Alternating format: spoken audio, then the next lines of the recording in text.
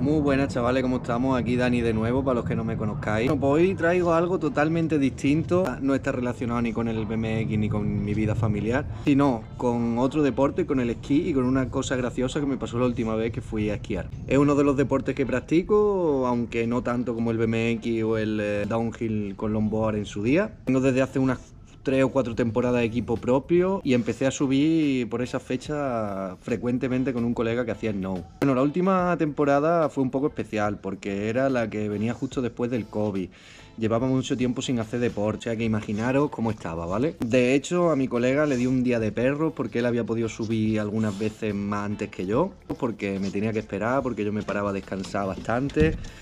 Y bueno, desde aquí te pido perdón, Raúl, yo que vaya dita que te di, ¿eh? Temporadas anteriores, pues había pillado buen nivelillo. Bueno, buen nivelillo. Bajaba bien, eh, algunos fuera de pista. Había empezado con algunos saltitos pequeños, algunos giros. Pero esta última temporada no fue la mía. Así decidí subir este vídeo para mostrar otra de mis aficiones, otro deporte al final que estoy aprendiendo. El tema de los tutoriales pues lo veo más chungo porque no estoy avanzado para nada. Tampoco quiero cerrarme muy herméticamente al BMX, mostrar también otras cosas que pueden interesar a la comunidad biker y yo creo que este tipo de deporte encaja. También aprovecho para mostrar Sierra Nevada, es una montaña que en España conocemos todos pero en sitios como Latinoamérica, por ejemplo, no creo que sea muy conocida porque hay varias sierras nevadas en el mundo. La mayoría de mis seguidores pues, son de ahí, así que también aprovecho para que sepáis que Granada, el sur de España, hay una montaña que se caracteriza por su buen clima. De hecho, muchas veces pues, puedes bajar en manga corta. He esquiado también en los Alpes y bueno, la montaña, los Alpes son increíbles, pero el clima que hay en Sierra Nevada pues no es lo mismo. Rózalo 3.400 metros. Aquí os dejo el vídeo del primer y el último día de la temporada pasada. No es gran cosa, se ven algunas bajaditas, se ve una caída y se ve una cosa muy graciosa. Y bueno, chavales, aquí va el vídeo.